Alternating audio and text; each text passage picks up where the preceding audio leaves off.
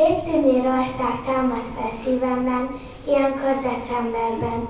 A szeretetnek csillagára nézek, megszáll egy titkos gyönyörű igézet, ilyenkor decemberben. A téli ünnepkört mutatták be tegnap a Rozgonyi iskola diákjai. A műsort hagyományosan advent első vasárnapja után rendezik meg. Minden évben megemlékezünk az adventi ünnepkörről, ilyenkor a gyerekek néhány mondatot mondanak egy-egy adventhez kapcsolódó ünnepről, verset mondanak, énekelnek, a zeneiskolások még egy kis betétet is játszanak. A negyedik osztályosok műsorát az alsósok nézték meg. Ez az ünnep arról is szólt, hogy az advent egy ugye négy hetes felkészülési várakozási időszak, és ugye mindenki megpróbált egy szép verset elmondani, és nekem is ez arról szólt, hogy várakozunk. Az iskola galériájában felsős diákok alkotásait és Bonc Adrien karácsonyi díszeit is kiállították.